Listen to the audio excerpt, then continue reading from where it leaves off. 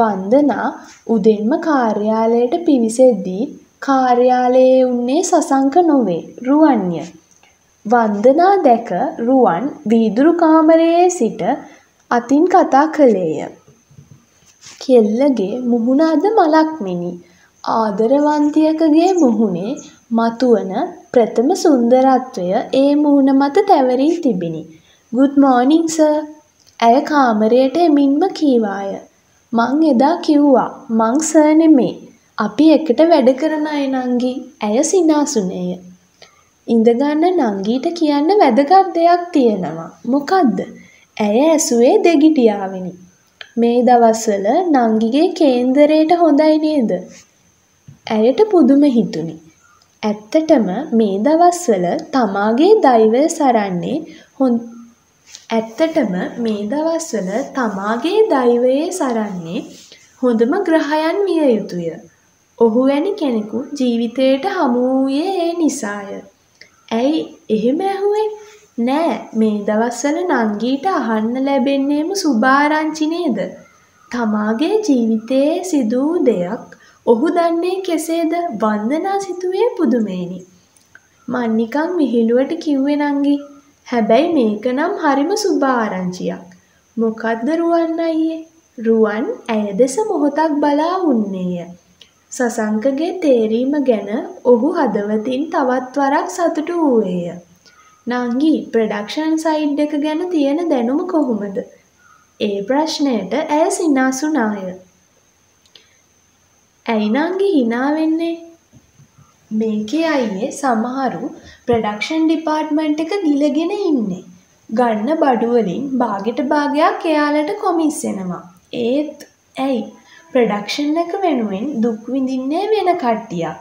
මෙහෙට ආපු දවසේ ඉඳලා ප්‍රොඩක්ෂන් එකේ ගොඩක් දේවල් මන් දැක්කා. අපේ මහන්සිය වතුරේ ගියා. ඒත් මම මට කරන්න පුළුවන් හැමදේම කළා.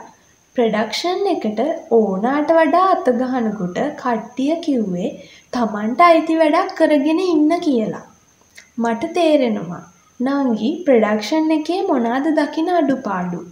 එකක් නෙමෙයි අපිට බඩු වෙන්නේ තොග ප්‍රයිස් එකට නෙමෙයි. සිල්ලර් ප්‍රයිස් එකටත් වඩා වැඩියෙන්. ඒවත් හොඳ බඩු නෙමෙයි. අපේ කේක් වලට ක්වොලිටි එක අඩු වුණේ බාල බඩු දාපු නිසා. පිටකොටුවේ පරණ වෙච්ච මිදි කජු ආවේ මෙහෙට. කල්ලිකුත් වෙච්ච බටර් පිටි තොග පිටින්ම මෙහෙට බෑවා. මම්මට පුළුවන් විදියට සර්ට කිව්වා.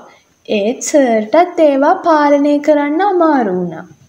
තව ප්‍රොඩක්ෂන් එකේ කිසිම තත්ත්ව පාලනයක් නැහැ.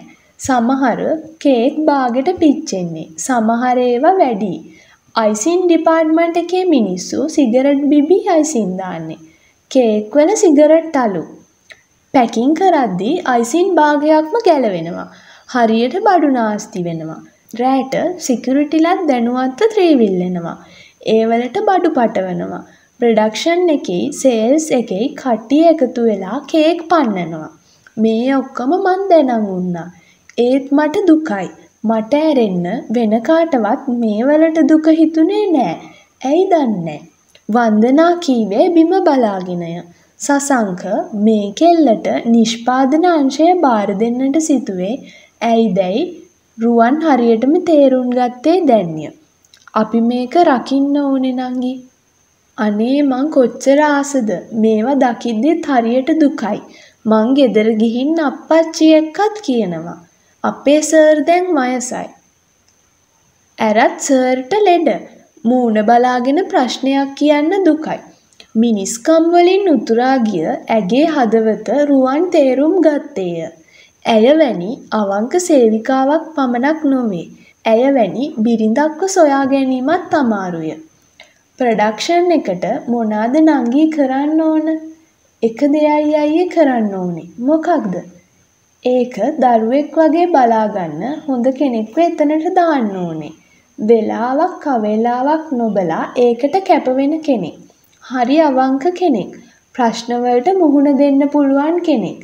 එහෙම වුණොත් හෙට ඉඳලා රන්තරු ප්‍රොඩක්ෂන් එකෙන් එළියට එන කේක් ගොඩක් රහ වෙයි. රුවන් ඇය දෙස බලා උන්නේය. ඇත්තටම කළ යුත්තේද එයයි. එය දරුවෙක් මෙන් බලා ගන්නා කෙනෙක් එතනට දැමිය යුතුය. කළ යුත්තේ එපමණයි.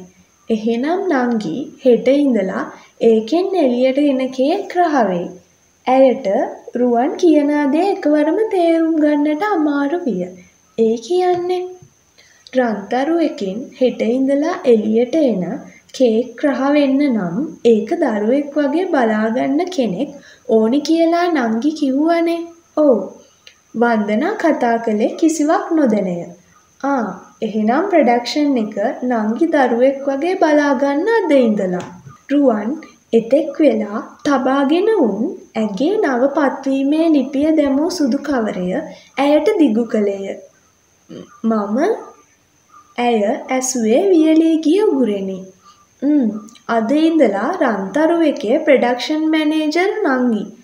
ඇය ඔහු අත තිබූ ලිපියවත් නොගෙන විශාල කරගත් දෙනෙතින් යුතුව බලා උන්නාය. මේ කියනා කිසිවක් අදහාගත නොහැකිය.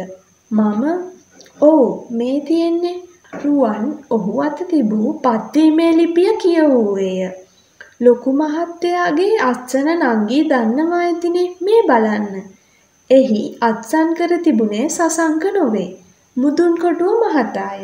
සසංක මේ පත්වීම ගැන තාත්තාට කියා ඔහු ඉන්දියාවේ යන්නට පෙර එය අනුමත කරවා ගත්තේය. වන්දනා පත්වීමේ ලිපියේ තිබූ අත්සන දෙසත් ලිපිය දෙසත් බැලුවේ එය අතටවත් නොගෙනය. සැබෑය. එහි තිබුණේ තමාව රන්තරු ප්‍රොඩක්ෂන් මැනේජර් කළ බවය. අත්සන් කර තිබුණේද ඔහුමය. අනේ දෙයනේ මට ලොකු සර් ඇයි එහෙම කළේ? මේක දරුවෙක් වගේ බලාගන්න පුළුවන් ඔයාට විතරයි කියලා සර් දන්නවා මාත් දන්නවා. ඔයා දැන් මාත් එක්ක කිව්ව ඒ වලින් ඒක ඔප්පු වුණා. ඒත් අනේ මම ඒ ලෙවල් විතරක් කරපු රුවන් ඇය කියන්නට ගිය දේ වැළැක්වුවේය. උපාධි ගත්තේ උන් මෙතන කොමිස් ගහනවා බඩු පන්නනවා මිනිහෙක් මනින්නේ මනුස්සකමින්. මේක ගන්නවද දරුවෝ? රුවන් ආදරයෙන් කීවේය. ඒත් මම මේ පත්වීම විතරක් නෙමේ නංගි. අද ඉඳලා ඔෆිස් එකේ ගොඩක් දේවල් වෙනස් වෙනවා. මෙතන දැනට ඉන්න මැනේජර්ස්ලා හතර දෙනෙක්ගේ වැඩ තහනම් කරනවා. ප්‍රොඩක්ෂන් එකට අලුත් නීතිමාලාවක් දානවා. ලොකු වෙනස්කම් වගයක් කරනවා. ස්ටාෆ් එක ගොඩක් වෙනස් කරන්න පුළුවන් සමහර විට.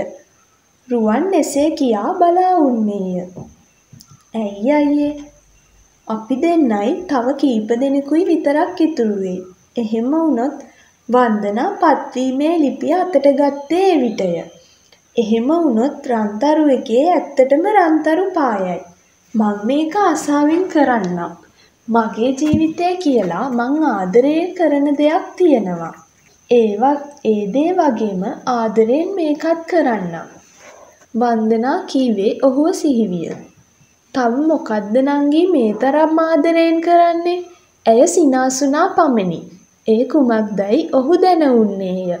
ඇත්තටම සර්ද මේ පත්වීම කළේ අයියේ.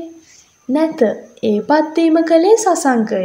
මුදුන් කොටුව මහතා කළේ එය අනුමත කිරීම පමණි.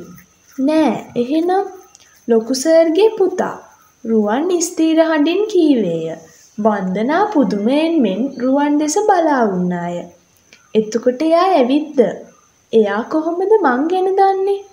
ලොකු සර්ගේ පුතා වන්දනා ඇසුවේ බිඳිනු හඬිනි. "ඔව් වන්දනා මාව පත් කළෙත් එයාම තමා. ලොකු සර්ගේ පුතා හිටියේ පිට රටනේ." "ඔව්." එයා ටික දවසකට කලින් ලංකාවට ආවා. රන්තරු එකේ දැන් වැඩ බලන්නේ ලොකු සර් නෙමෙයි.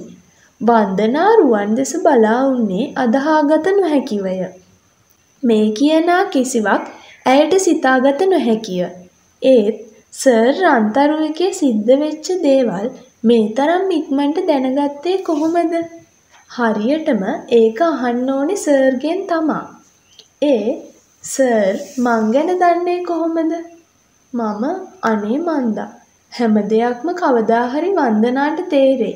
එතකල් අපි මේම කරගෙන යන්. ඒත් අයියේ ඇයි? ඒ සර් ඔෆිස් එකටවත් ආවේ නැත්තේ? එයා ඇවිල්ලා ඇති. නෑ මං හැමදාම ආවනේ. රුවන් සිනාසුනේ අහක බලාගෙනය. සසංක කාර්යාලයට ආවා පමණක් නොව ඔහු මේ කාර්යාලයේ වුන් අහිංසකම කෙල්ලගේ හදවතද පැහැරගත්තේය. ඒ කිසිවක් වන්දනා දන්නේ නැත. පුදුමයි. ම්ම් පුදුමයි තමයි. තව පුදුම දේවල් ඉස්සරහට වෙයි. ඔහු පුදුමාකාර කෙනෙක් යයි වන්දනාට නිකමට සිතුනි.